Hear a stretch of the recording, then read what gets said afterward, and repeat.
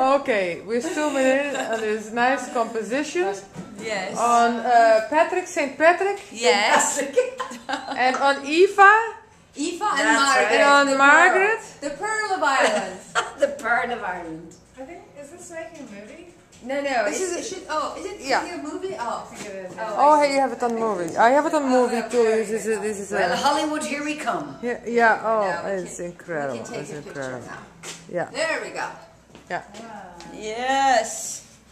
Another. Let's do Now- another now- one. yeah.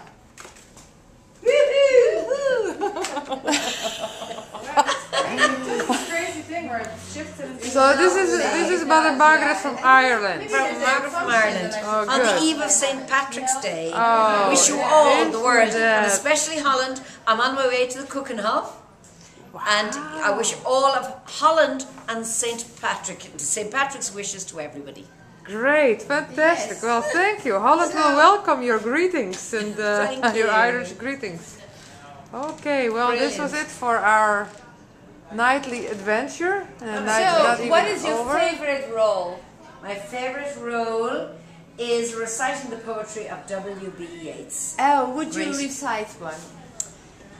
This evening, with the lovely skies outside, I would say, had I the heavens embroidered cloths, enwrought in golden and silver light, the blue and the dim and the dark cloths of night and light and the half light.